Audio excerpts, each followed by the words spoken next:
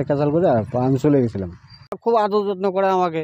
এক লাখ দশ হাজার পনেরো হাজার আসাম দিতে আর এদিক নমস্কার বন্ধুরা আশা করি সবাই ভালো আছেন আমি ভালো আছি। বন্ধুরা আমি এখন যে জায়গায় দাঁড়িয়ে আছি জায়গাটা হচ্ছে চিকলিগুড়ি আলিপুরদুয়ার জেলার এক প্রত্যন্ত গ্রাম। আপনারা পিছন দিকে লেখা দেখতে পাচ্ছেন দাস নার্সারি। এখানে সুলভ মূল্যে খুচরো ও পাইকারি ফুলের চারা বিক্রি করা হয়। আজকে এখানে আমি এসেছি আসার মেন উদ্দেশ্য হচ্ছে কী কী ধরনের ফুল পাওয়া যায় এবং কী কী ভ্যারাইটি শীতকালীন ফুল রয়েছে সেই সম্পর্কে প্রতিবেদন করব। এবং এই নার্সারির যে মালিক রয়েছেন তার জীবন কাহিনী সম্পর্কে কিছু বিষয় আপনাদের সামনে তুলে ধরবো। আশা করি আপনাদের ভিডিও ভালো লাগবে। ভিডিও স্কিপ না করে কিন্তু আপনারা অবশ্যই দেখতে থাকবেন। কাকু! হ্যাঁ বলেন। আপনার কাছে আসলাম। আচ্ছা বলেন। আপনার নামটা একটু জানান আগে। আমার নাম বিশ্বজিৎ দাস।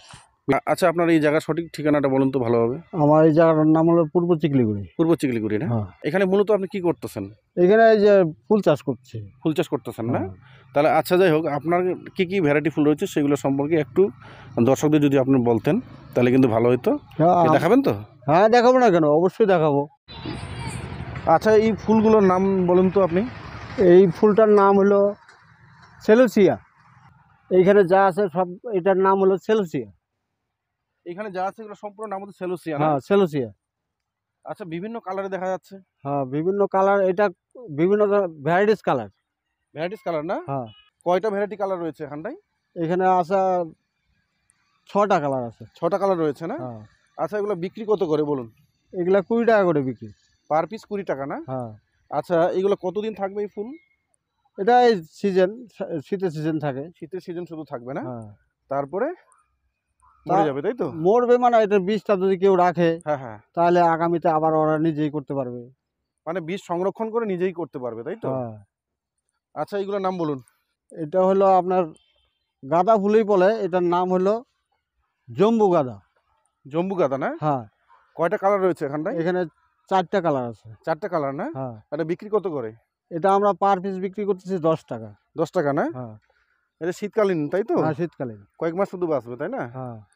এটার নাম হলো ক্যালেন্ডুলা। ক্যালেন্ডুলা না? হ্যাঁ। এটা কালার কি? এটা দুইটা কালার হবে। হ্যাঁ হ্যাঁ। একটা অরেঞ্জ কালার হবে হ্যাঁ। আর একটা আপনার হলুদ কালার হবে। দাম কত করে এগুলো? এগুলো এগুলোর দাম হচ্ছে কুড়ি টাকা করে। পার পিস কুড়ি টাকা না? হ্যাঁ পার পিস কুড়ি টাকা। আর এই যেগুলো? এইখানে দেখতেছেন আপনার এই- এটা হলো স্টার। এটা কি? স্টার ফুল। স্টার ফুল না? হ্যাঁ। মানে স্টার ফুল তাই তো? হ্যাঁ হ্যাঁ হ্যাঁ। আর এইগুলো? আর এইটা হলো ধ্যানতাস আপনার এটা কালার হচ্ছে ভ্যারাইটিস কালার। মানে একটা গাছে কি ভ্যারাইটি কালার হবে নাকি? একটা গাছে দুই রকম তিন রকম কালার হবে। আর এই এই কালারটা কি? এটা লাল কালার হবে। লাল কালার আর এখানে একটা কালার দেখা যাচ্ছে গোলাপি কালার গোলাপি কালার না? হ্যাঁ। আচ্ছা এটা লাগানো কতদিন পরে ফুল আসতে পারে? দুই মাস পরেই ফুল আসে। দুই মাস পরে ফুল আসে না? হ্যাঁ। এগুলো হলো চন্দ্রমল্লিকা চন্দ্রমল্লিকা না? হ্যাঁ। পুনা ভ্যারাইটিস বলে এইটাকে বলে পুনা ভ্যারাইটিস পুনা ভ্যারাইটিস না? মানে বিভিন্ন কালারের তাই তো? বিভিন্ন কালারের ভ্যারাইটিস কালার আর কি। আর এইগুলো কি? এইটা হলো আপনার লোকাল চন্দ্রমল্লিকা। মানে এগুলো সব লোকাল চন্দ্রমল্লিকা। হ্যাঁ। সাদা কালার নাকি ফুলে? সাদা ভ্যারাইটিস কালার আছে। ভ্যারাইটিস কালার আছে না? হ্যাঁ। এটা আপনি আপনার মালা গেন্দা মালা গেন্দা না? হ্যাঁ। পার পিস দাম কত পার পিস এগুলো কুড়ি টাকা করে। কুড়ি টাকা করে না? হ্যাঁ। আচ্ছা আপনি এখানে হোলসেল করেন নাকি? হ্যাঁ আমার এখান থেকে হোলসেল যাইতেছে খুচরা বিক্রি হচ্ছে। খুচরা বিক্রি করতে বিভিন্ন ধরনের খরিদ্দার আপনার কাছে। কিনতে আসে তাই তো। এটা কি? এটা হলো মিনি ডালিয়া। মিনি ডালিয়া না? হ্যাঁ। মিনি ডালে বিভিন্ন কালারের রয়েছে তাই না? এটা একদম প্রচুর কালার থাকে এর ভিতরে। পার পিস কত করে এগুলি এটা পাঁচ পিস তিরিশ টাকা করে। তিরিশ টাকা না? হ্যাঁ। আর এটা? এটা হলো ধ্যানতাস। ধেনতাস ধ্যানতাস। এটা কি ফুল হবে না? হ্যাঁ ফুল হবে। ফুল হয়ে গেছে এগুলা আর ফুটতেছে আর। কি কি কালারের ফুল হতে পারে এটা? এটা আপনার তিন চারটা কালার হবে। তিন চারটা কালার না? হ্যাঁ। এটা কি? এটা হাইব্রিড গাঁদা বলে। হাইব্রিড গাঁদা না? হ্যাঁ। এগুলোর দাম কত এগুলো এগুলোর দাম পনেরো টাকা পিস পনেরো টাকা পিস না? হ্যাঁ। সম্পূর্ণ পনেরো টাকা পিস হ্যাঁ। আচ্ছা মূলত আপনার কয়টা ভ্যারাইটি ফুলের চাষ করেন এখানটায়? আমার ভ্যারাইটিস তো প্রচুর আছে তা এতগুলা তো হিসাব দেওয়া মুশকিল। এখন আপনার কালারটাও ধরেন পঞ্চাশটা কালার হবে। হ্যাঁ। তা কালারের শেষ নেই কিন্তু মানে ফুলের কালারের কোনো শেষ হয় না।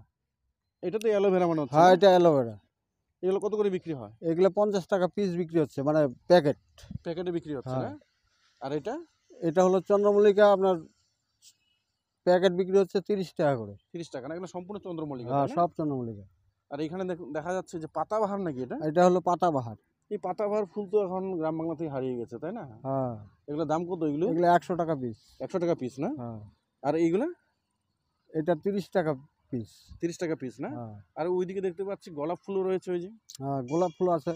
গোলাপ ফুল কত করে বিক্রি করেন আপনি? গোলাপ ফুল এগুলো একশো টাকা পিস একশো টাকা পিস না? হুম। আর এইগুলো? আপনার ঝাউ হলো ষাট টাকা পিস আর এইদিকে? এদিকে আপনার এগুলা হচ্ছে এক- একশো টাকা করে। সব একশো টাকা না? হ্যাঁ। কাকু আপনার এই নার্সারি করার বয়স কতটুকু হলো? আমার তো নার্সারি করতেছি মোটামুটি আজকে ধরেন বারো বছর থেকে। বারো বছর থেকে না? আচ্ছা আপনি নার্সারি করতে গেলে তো একটা ট্রেনিং এর দরকার রয়েছে। হ্যাঁ ট্রেনিং আপনি কি করে মানে নার্সারি শুরু করলেন? মানে আমি বিয়ার আগে চলে গেছিলাম আসামে। আচ্ছা। হ্যাঁ তো বাড়িতে একটু অভাব সংসার ছিল তো। আচ্ছা। তখন অভাব অনুদানে এই একটু ক্যাচাল করে মা বাবার সাথে ক্যাচাল করে আমি চলে গেছিলাম। চলে গিয়ে আপনি ছিলেন হ্যাঁ। কোথায়? কোনো নার্সারিতে ছিলেন হ্যাঁ পরে চৌতারা আমার এক আত্মীয় ছিল। হ্যাঁ হ্যাঁ হ্যাঁ। তুই আমার এখানে কাজ করতে হলে আত্মীয় মানে অনেক দূর সম্পর্ক আর কি। দূর সম্পর্কের না? হ্যাঁ তা ওনার নার্সারি আছে ওনার নার্সারি আছে। তো উনি বলল কয় তাহলে আমার এখানে থাকো। কাজ করো তুমি শিখতে পারবা। তা ওর এখানে আমি এক বছর রইলাম আমি বাড়িতে কোনো রকম যোগাযোগ করি নাই। আচ্ছা মানে বাড়ির কোনো কানেকশন ছিল না কোনো কানেকশন ছিল না। হ্যাঁ হ্যাঁ। তা ওইখানে কাজ করতেছি এক এক বছর যাবত। আমাকে পয়সা দিচ্ছে অল্প দিচ্ছে। খাওয়া দাওয়া ভালো দেয় এখানে থাকি। হ্যাঁ, হ্যাঁ। বেশ আদর যত্ন মধ্যে ছিলাম আচ্ছা। তা আমার কাজ দেখে মালিকের খুব পছন্দ। আচ্ছা। তা পছন্দ তা আহ, ঠিক আছে আর কাজ করি। হ্যাঁ। খাই আমার তো টার্গেট হলো আমি শিক্ষা উপার্জন করে দেব। টেকনিকগুলো আপনি জানবেন। হ্যাঁ। হ্যাঁ হ্যাঁ, নার্সারির কাজগুলো আমার শেখার হ্যাঁ, খুব ইচ্ছা আর কি। হ্যাঁ হ্যাঁ হ্যাঁ। খুব আগ্রহ করে আমি মালিকের থেকে ভালো ভালো কাজ করি। আচ্ছা। করতে করতে মালিক খুব আদর যত্ন করে আমাকে। হ্যাঁ হ্যাঁ হ্যাঁ তোমার সবার থেকে কাজ খুব ভালো লাগে। আচ্ছা ঠিক আছে। তো ওইরকম করতে করতে আমি এক বছর কাজ করার পরে আমি বললাম আমি একটু বাড়িতে যাব। মালিক ছাড়ে না তা আমি বলে আসলাম। আসার পরে এসে আমি অল্প সামান্য কাজ শুরু করলাম। দেখি না ভালো প্রফিট হচ্ছে। ওরকম করতে করতে অল্প অল্প করলাম তারপরে একটু আগাইলাম তারপরে আরেকটু আগাইলাম। এইভাবে একটু এখন একটু বড় ধরনের করছি। মানে আপনি ওখান থেকে এসে নার্সারি খুললেন হ্যাঁ। তারপরে বিয়ে ঠিক করলেন তাই তো? হ্যাঁ বিয়ে করলাম বাচ্চা কাচ্চা হইল হ্যাঁ হ্যাঁ হ্যাঁ। কয় ছেলে কয় মেয়ে আপনার? আমার তিন ছেলে। তিন ছেলে? হ্যাঁ। বাহ! ওনারাও কি সবাই এই ব্যবসায় জড়িত আছেন? হ্যাঁ আমার দুই ছেলে বারে মাল নিয়ে যায় এইখান থেকে সব পাইকারি মাল সেল করে ওরা। আর আমি এইখানে পাইকার আসে ওদেরকে উঠায় দেই।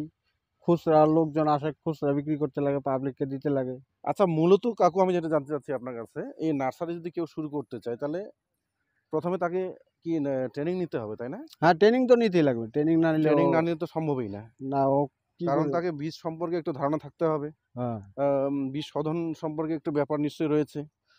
আবার কি ধরনের মাটিতে বীজ রোপণ করলে ফুল হবে সেগুলো নিশ্চয়ই একটা ব্যাপার রয়েছে তাই না?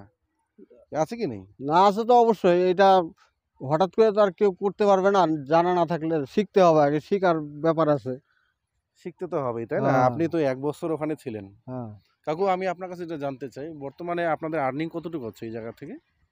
মানে ইনকাম কতটুকু আসে ইনকাম আমি ধরেন আমার বছরে এখানে আমি এক লাখ দশ হাজার পনেরো হাজার খরচা করি। হ্যাঁ। আড়াই লাখ সাড়ে তিন লাখ ওরকম বিক্রি হয়। তিন মানে লাখ কষ্টও হ্যাঁ, আছে ইনকামও আছে। ইনকাম আছে। তিন লাখের উপরে যায় আর কি কাকু আমি যেটা জানতে চাচ্ছি আপনার এই এই- এই জায়গাটা কি আপনার নিজস্ব? না আমার এই জায়গাটা নিজস্ব না। লিজে নেওয়া? লিজ নেওয়া চার বছরের জন্য লিজ লিজের খাতে তো প্রচুর টাকা খরচা হচ্ছে আপনার। হ্যাঁ লিজ টাকা তো দিতে লাগবে। লিজ নিয়ে আপনি এখানে চাষ করতেছেন হ্যাঁ। তাই তো? আপনার যদি পার্মানেন্ট জায়গা থাকতো তাহলে নিশ্চয়ই আরও ভালো হতো। হ্যাঁ। আচ্ছা কোনো দর্শক যদি আপনার কাছে এসে আহ, মানে দূর দূরান্ত থেকে এসে যদি ফুল নিয়ে যায় হ্যাঁ। তাহলে কিছু কম সময় দিবেন কিনা আপনি বলেন? হ্যাঁ তা তো অবশ্যই দিব। দূরের থেকে আসলে ওদেরকে কমে দিতে লাগবে না। কারণ এই ভিডিও দেখে তো অনেকে আসতে হ্যাঁ পারে। হ্যাঁ হ্যাঁ অবশ্যই দিব। তাহলে তাকে কিন্তু কমে দিতে হবে বুঝলেন তো? হ্যাঁ। আচ্ছা আমি যেটা আপনাকে বলতে চাচ্ছি এই ভিডিও ডিসক্রিপশন বক্সে কি আপনাদের মোবাইল নম্বর দিয়ে দিব? হ্যাঁ যদি বাইরের দূর থেকে ফোন করে। হ্যাঁ দেন দিয়ে দেন।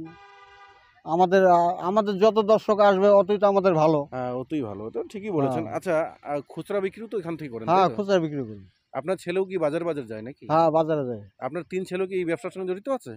আমার দুই ছেলে জড়িত আছে। দুই ছেলে না? এক হ্যাঁ। ছেলে কি এক ছেলে কি করে? এক ছেলে ওর আমার ওর রঙের কাজ করে তো। আচ্ছা আচ্ছা ও আচ্ছা। এটাতে আসে না।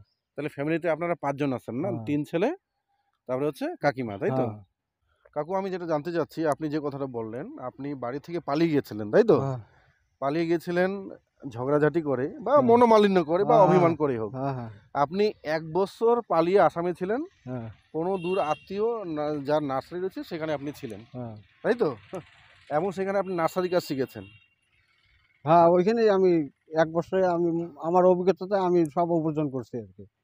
তাহলে অভিজ্ঞতা অর্জন করার পরে আপনি এখানে এসে কি করলেন? এই ব্যবসাটা শুরু করলেন তাই তো? শুরু করলাম একদিক দিয়ে পালিয়ে যাওয়াটা কিন্তু আপনার একটা আশীর্বাদ শুরু হয়েছে তাই না? হ্যাঁ মা বাবা তো তাই বলছে। মা বাবা তাই বলেছে না? হ্যাঁ। বাড়ির সবাই তো এখন খুশি তাই না? হ্যাঁ অবশ্যই। তবে আপনি যে ধরনের পরিশ্রম করে এখানে তিল তিল করে আপনি গড়ে তুলছেন এটা সত্যি প্রশংসার যোগ্য আ- আপনার কাছাকাছি এলাকাতে এই ধরনের নার্সারি রয়েছে কি? ফুলের না না নার্সারি? না না আমার আমার এলাকাতে নাই। আপনার এলাকাতে নেই না? না না। আপনি এখান থেকে মূলত কোথায় কোথায় সাপ্লাই দেন বলুন তো?